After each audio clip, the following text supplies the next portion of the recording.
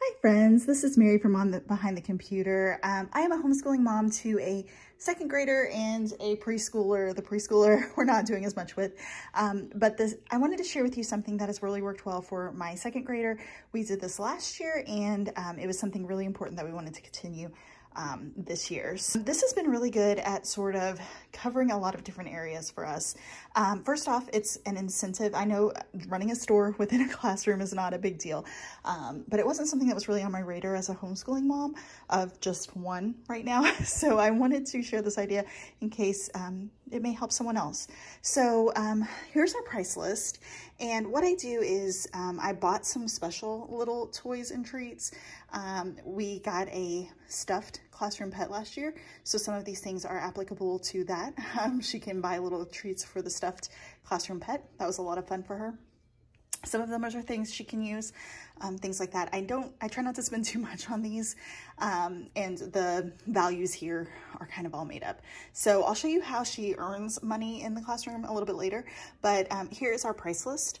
I make these up based on like the value of what I think she'll have available. Again, we'll go over how she gets her money later, um, but the passes are always the most expensive because those um, mean the most to her, and it also is something that I don't want too many of those on the market.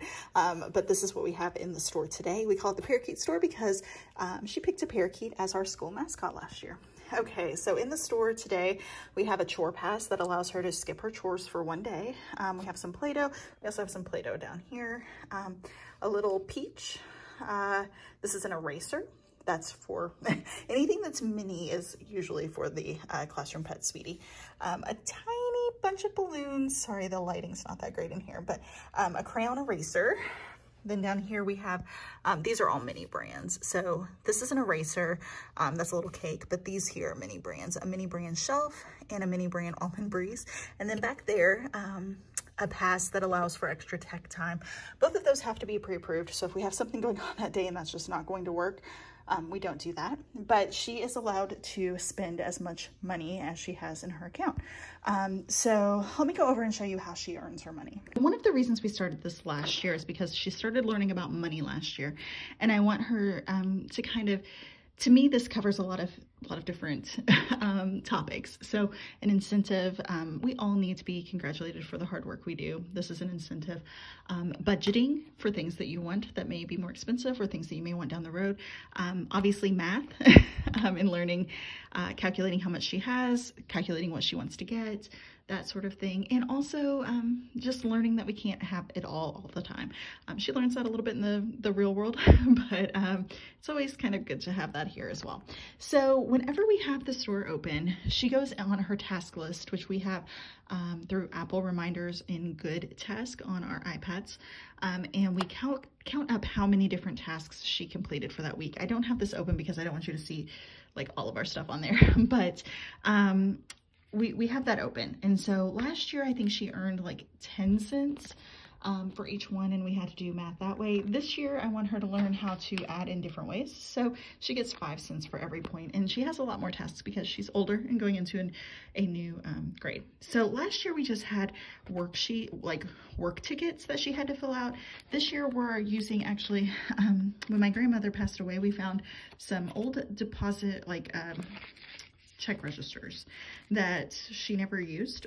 um, and I don't even know how old they were.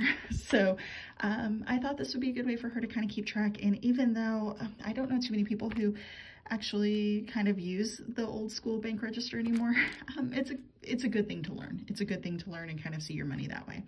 Um, so we're working on that. It also helps her handwriting when she has to write what she is getting. Um, and then we do a withdrawal and kind of the balance left. And we actually do use cash um, she seems to prefer like play cash. She seems to prefer it. It was a lot of fun last year um, and i think it also kind of helps her visualize what she can buy with what money and what she has left over. Um, we may not do this in the future. We may have like a, a credit card. I'm using that in quotations a credit card. Um, but for right now this is working really well. So um, she puts in the number of points that she gets the date um, we do how much she's going to be depositing into the bank, then how much she's going to be withdrawing and how much of balance she has left over.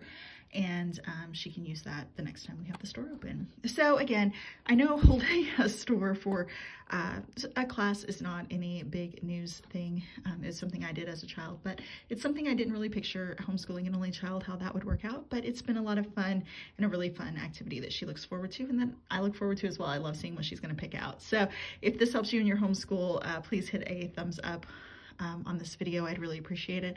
And uh, if you'd like to hear more of our homeschooling tips as they come up, please be sure to hit subscribe. We'll have more in the future. Thank you so much for watching and I hope you have a blessed day. Bye-bye.